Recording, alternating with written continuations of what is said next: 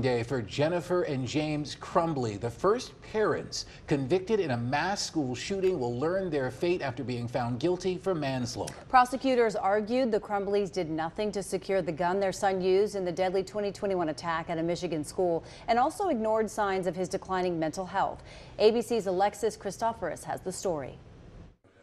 Jennifer and James Crumbley, the first parents in the U.S. found criminally responsible for a school shooting committed by their child, both set to be sentenced.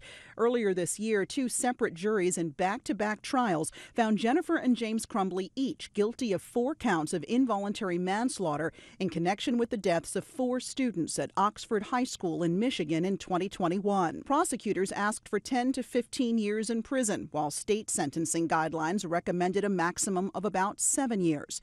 James Crumbley is asking for time served. Jennifer Crumbley wants to serve her sentence on house arrest at her lawyer's guest house. Before the sentencing, the Crumbleys had to face the families of the four victims. While you were running away from your son and your responsibilities, I was forced to do the worst possible thing a parent could do.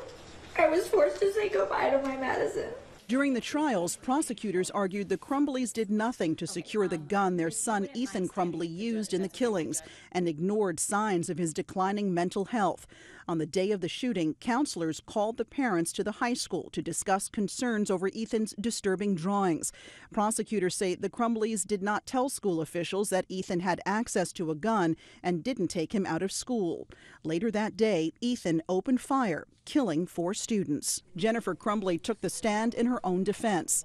I've asked myself if I would have done anything differently, and I wouldn't have. In court documents, she now says that is true without the benefit of hindsight that I have now. With the information I have now, of course, my answer would be hugely different. Ethan Crumbley pleaded guilty and is serving life in prison.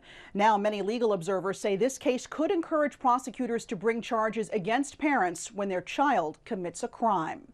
Alexis Christoforous, ABC News, New York.